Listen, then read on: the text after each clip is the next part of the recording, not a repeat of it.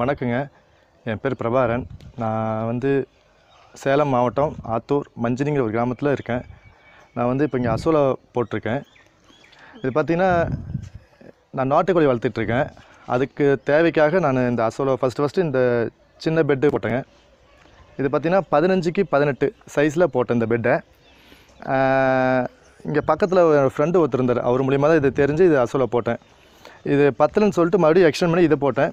இதுவும் அதே சைஸில் போட்டேன். இது- இதுவும் பத்தலங்கும் போது நான் அடுத்தடுத்து சின்னதாக போடுறதுக்கு பதிலாக பெருசாக எக்ஸ்டெண்ட் பண்ணியிருக்கேன். இதை பார்த்திங்கன்னா மொத்தமாக இப்போ இருக்கிறது வந்து மூவாயிரம் ஸ்கொயர் ஃபீட் இருக்குது வச்சுங்களேன் மேக்ஸிமம் இந்த பாதி நிழல் பாதி வெயில் இருக்குன்னு சொல்லுவாங்க. அதுக்காக மர நிழல் இல்லாமல் நான் க்ரீன் ஹவுஸில் போட்டிருக்கேன். எனக்கு அது இல்லாதனால. சரி இப்போ ஒரு நாளைக்கு இதில் எத்தனை கிலோ எடுத்துட்டு இருக்கீங்க நீங்கள் இதில்? இப்போ இதில் மூவாயிரம் ஸ்கொயர் ஃபீட் இருக்குது நான் ஒரு நாளைக்கு முப்பது கிலோ எடுக்கிறேன் வச்சுங்களேன் ஆக்சுவலாக முப்பது கிலோ எடுத்தோம்னா நான் ரெகுலராக எடுக்கலாம். நம்ம அதிகமாக எடுக்க முடியும். அதிகமாக வளர்ச்சி இருக்குது எடுக்க முடியும். ஆனால் முப்பது கிலோ எடுக்கும்போது நம்ம ரெகுலராக எடுக்கலாம் வச்சுங்களேன் சரிங்க. இப்போ இதை வந்து சேல்ஸும் பண்ணுறீங்களா நீங்கள் இந்த அசோலாங்க ஆ சேல்ஸ்னால் விதைக்காக சேல்ஸ் பண்ணுறேன் வச்சுங்களேன் விதைக்காக சேல்ஸ்னால் பக்கத்தில் இங்கே இருக்கவங்களும் கொடுக்குறேன்.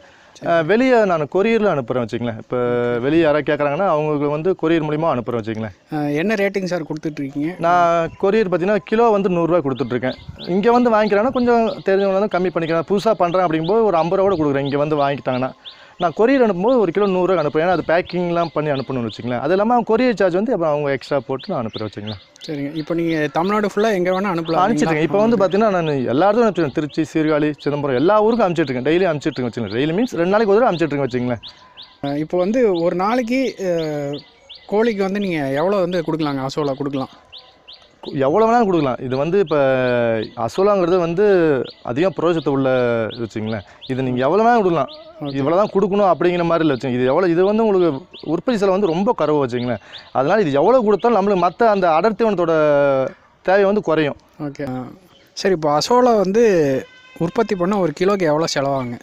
எவ்வளோ செலவுன்னு பார்த்தீங்கன்னா இதோட செலவு பார்த்தீங்கன்னா இந்த படுதா. சொல்லுவாங்க. ஒரு கிலோ வந்து ஒரு ரூபாய் கம்மி ஆகும் ஐம்பது காசு ஆகும் அப்படின்னு சொல்லுவாங்க.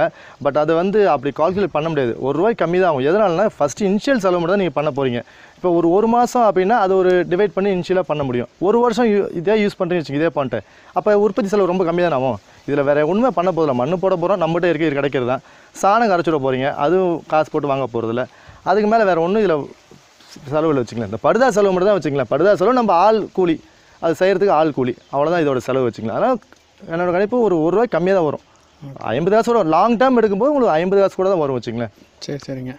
இப்போது இது என்னென்ன வந்து மிக்ஸ் பண்ணுங்க? ஆ எப்படி போடணும்னு சொல்கிறேன் போடணும் இப்போ இதை பார்த்து ஃபஸ்ட்டு ஃபஸ்ட்டு நான் போட்ட இந்த பதினஞ்சுக்கு பதினெட்டு வச்சுங்களேன் இந்த படுதாவோட சைஸு ஓகே. இது ஃபஸ்ட் ஃபஸ்ட்டு போடும்போது பார்த்தீங்கன்னா இதை விட படுதாவோட ஒரு ரெண்டு அடி கம்மியாக இருக்கும். ஒரு பதினஞ்சு அடி உள்கூடு வரும் வச்சுங்களேன் நார்மலாக இதை ஒரு ஒரு ஒரு அடி உயரத்துக்கு சைடில் மண் கட்டிட்டு பாத்தி மாதிரி கட்டிட்டா போதும்.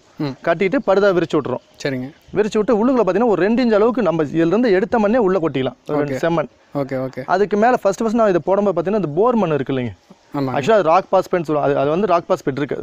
பாறையிலேருந்து அரைச்சி வரதுனால நம்ம அது ராக் பாஸ்பேட் பார்த்தீங்கன்னா வேணுங்கிறதுக்காக போர் மண் வந்து மேலே தூவி விட்டுக்கலாம். எருவு தூவுற மாதிரி லைட்டாக தூவி விட்டுக்கலாம். சரிங்க. நான் ஃபஸ்ட் ஃபஸ்ட் இதை போடும்போது பார்த்தீங்கன்னா சூப்பர் பாஸ்பேட் போட்டேன். ஏன்னா எல்லாம் சூப்பர் பாஸ்பேட் போடுங்க போடுங்கன்னு சொன்னாங்க ஸோ நான் போட்டு தான் பார்ப்போம். ஃபஸ்ட் டைம் பண்ணும்போது போட்டு கொஞ்சம் ஒரு இந்த இதுக்கு பார்த்தீங்கன்னா ஒரு இரநூறு கிராம் சூப்பர் பாஸ்பேட் போட்டிருக்கேன். ஓகேங்க போட்டுட்டு ஒரு இந்த பதினஞ்சுக்கு பதினெட்டு சைஸுக்கு பார்த்தீங்கன்னா ஒரு ஒரு பத்து கிலோ சாணம் கரைச்சி விட்ருக்கேன் ஃபஸ்ட்டு ஃபஸ்ட்டு போடும்போது. கரைச்சி விட்டு ஒரு ஒரு அரை கிலோ விதை இதில் போட்டேன் வச்சுக்கலாம் ஃபஸ்ட் ஃபஸ்ட்டு போடும்போது. அவ்வளோதான் இப்போ நம்ம விதையை வந்து கொஞ்சம் கூட போடும்போது சீக்கிரமாக எடுக்கலாம். இப்போ நான் அந்த அரை கிலோ விதை போட்டு இது எடுக்கும்போது பார்த்தீங்கன்னா எனக்கு இருபது நாள் ஆயிடுச்சு. இதோட நான் அறுவடை பண்ணுறதுக்கு ஹார்வெஸ்ட் பண்ணுறதுக்கு இருபது நாள் மேலே ஆயிடுச்சு. இதே ஒரு ஒரு கிலோ ஒன்றரை கிலோ சேர்த்து போடும்போது பார்த்தீங்கன்னா அது சீக்கிரமாக எடுக்கலாம். ஒரு ஒன் வீக்கில் நம்ம வந்து ஹார்வெஸ்ட் பண்ண ஆரம்பிச்சிடலாம். ஓகே இப்போ வேற என்ன? இப்போ இப்போ ரீசெண்டாக வந்து ஏதோ ஒரு எக்ஸ்பெரிமெண்ட் மாதிரி பண்ணி இது இப்போ நான் வந்து பார்த்தீங்கன்னா இப்போ இந்த சாணம் இப்போ கரை என்னென்ன சொல்லுவாங்கன்னா நிறைய இடத்துல சொல்கிறாங்க ஃப்ரெண்ட்ஸ்லாம் சொல்கிறாங்க இப்போ இது வந்து ஒரு ஆறு மாதத்துல க்ளீன் பண்ணணும். பெட்டை தண்ணி எல்லாம் எடுத்துட்டு சாணத்தை மண்ணெல்லாம் எடுத்துட்டு புதுசாக போடணும்னு சொல்கிறாங்க நான் அந்த மாதிரி தான் ஆகும்னு நினச்சேன். இது போட்டு ஒரு வருஷம் மேலே ஆகுது இதுவரை நான் அந்த பெட்டை க்ளீன் பண்ணவே இல்லை. சரிங்க. எதனாலனா இப்போ சாணம் நம்ம ரெகுலராக வாரத்தில் ஒரு நாள் கரைச்சுன்னு சொல்லுவாங்க. இப்போ வளர்ச்சி குறைஞ்சுன்னா நம்ம சாணம் கரைச்சி விடலாம். இல்லைன்னா அது சாணம் கரைச்சுன்னு தேவையே இல்லை. அப்படி சாணம் கரைச்சிடும் என்ன ஆகும்னா அதோட கீழே இருந்து அதோட ஹைட் தண்ணியோட அளவு கொள்ளளவு வந்து குறைஞ்சிட்டே இருக்கும். அப்போ சீக்கிரமாக பெட்டு காலி பண்ணுற மாதிரி தான் இருக்கும். அதுக்கு பதில் இப்போ நான் வந்து பஞ்சகாவியம் போட்டிருக்கேன். இயற்கை முறையில் பண்ணலான்னு சொல்லிட்டு பஞ்சகாவியம் வந்து நான் உற்பத்தி பண்ணிருக்கேன். ஒரு பத்து கிலோ சாணம் போகிறதுக்கு பதிலாக ஒரு அரை லிட்டர் ஒரு லிட்டர் பஞ்சகாவியம் ஊற்றினா போதும் இந்த இடத்துக்கு. சரிங்க. ஒரு வாரம் ஒரு பத்து கிலோ சாணம் கரைச்சி விட்றீங்கன்னா அதுக்கு பதிலாக ஒரு லிட்டர் பஞ்சகாவியம் ஊற்றினா இப்போ பஞ்சகாவியம் வந்து தண்ணி மாதிரி தான் இருக்கும். சரிங்க. அதுக்கு உண்டான சத்து அப்படியே இதில் கிடைக்கும். சரிங்க. ஓகே.